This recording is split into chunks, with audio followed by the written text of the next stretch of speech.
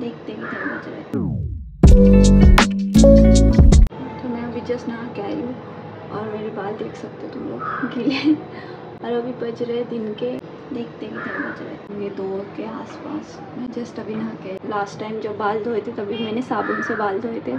क्योंकि मेरे पास शैम्पू नहीं था और नीचे जाने की हिम्मत नहीं थी मेरे पास। दिन साबुन से धोए थे ना भाई साहब, बट्टे बन गए थे, बट्टे एकदम ऐसे टाइट टाइट शाइट हो गए थे बाल पूरे। पहले रहा हूँ कर ले।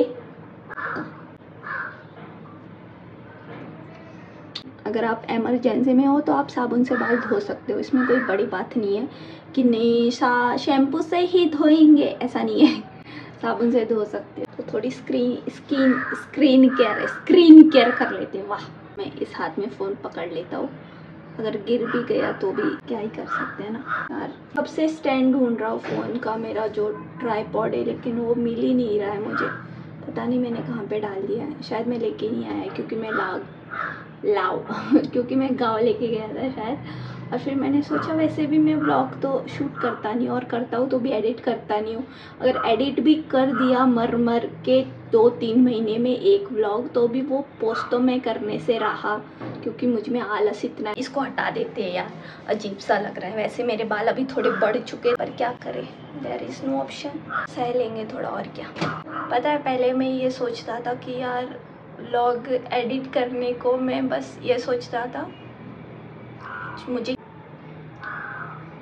पहले मेरे पास बहाने होते थे एडिट ना करने के कि मेरे पास नेट नहीं है तो फिर मैं डालूँगा कैसे? तो फिर मैं एडिट करके करूँ भी क्या? लेकिन अभी तो वाईफाई लगा दिया है तो अभी बहाना भी नहीं चल रहा है। और मुझे सेल्फ गिल्ट भी होता है कि यार मतलब मतलब तेरे पास सब कुछ है फ़ोन है इंटरनेट है, हर चीज़ है, फिर भी तू एडिट करने में इतना आलस व्लॉग डालने में इतना आलस। और लोग तुझे देखना भी चाहते हैं, ऐसा नहीं कि कि भाई कोई देख भी नहीं रहा है। भाई देख रहे हैं, बहुत प्यार देने वाले बहुत लोग हैं, बहुत लोग हैं। लाखों करोड़ों लोग हैं, वो भी हो जाएँगे एक दिन। मेरा हाथ दुखने लग गया। यार व्लॉगिंग इतनी भी इजी नहीं है तो जितनी तुम लोगों को लगती है ना कि यार कैमरा उठा के बोल दिया। बोलने में भी कितनी फटती है बताइए लोगों के सामने? और अभी मैं तुम लोग को थोड़ा थोड़ा लड़के वाले रूप में दिख रहा हूँ, है ना? लोगों के लाइफ में इतनी सारी परेशानियाँ होती है। मेरी लाइफ की दिक्कत क्या है बताइएगा मैं खुद। छोड़ो, लोग ज़्यादा सीरियस हो जाएँगे मेरी बातों को लेके। चलो, अभी देखते हैं क्या करना है। खाना पीना तो नहीं है। पैर को यार, मुझमें हिम्मत नहीं कि मैं दो दो टाइम खाना बनाऊँ। तो मैं एक टाइम भी खाना बनाता हूँ और दो टाइम खाता हूँ। किसको क्या ही पता चलेगा। तुम लोगों को बताया इसलिए तुम लोग को पता चला। अगर नहीं बताता तो तुम लोग को क्या पता चलता ना। ऐसे अकेले रहते तब यही होता है। एक टाइम खाना बन जाए, वो भी बहुत बड़ी बात है। अगर मैं अकेले एकदम ही ज़्यादा अकेले रहता ना तो फिर भाई हफ़्ते में एक आधी बार मैं मुश्किल से खाना बनाता, ठीक है? तो अभी थोड़ा बाल को ड्रायर करने की ज़रूरत नहीं है, क्योंकि इतनी मेहनत मैं नहीं करूँगा। मेरे पास है ड्रायर। ऐसा मत सोचना कि पिका के पास है नहीं तो फिर ड्रायर कहाँ से करेगा? है पिका के पास ड्रायर बट यार, क्या ही ड्रायर करना थोड़ा स्किन स्क्रीन स्क्रीन थोड़ा स्किन केयर कर लेते हैं ठीक है? इस कौए को मेरी वीडियो के बीच में क्राव क्राव करना है। एक तो सालों से एक बार मैं ब्लॉग बनाता हूँ उसमें भी इसको बीच में घुसना है।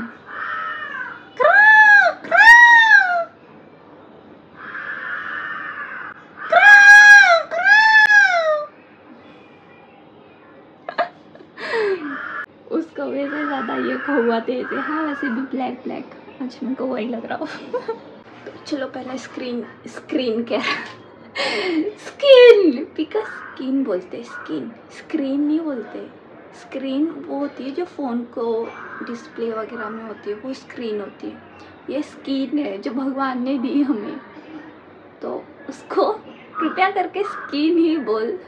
स्क्रीन ना बोल जैसा आप कहो। स्किन स्किन ठीक है गाँव की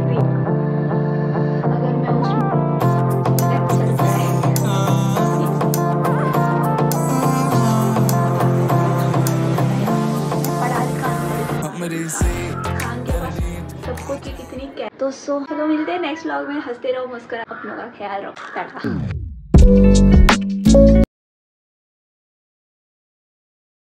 तो मैं इस इस, मेरी शक्ल दिख रही है। हाँ तो कितना सूम है भाई, थोड़ा। हाँ आप लोगों को बता देता हूँ। मैं क्या बता रहा था, भूल गया।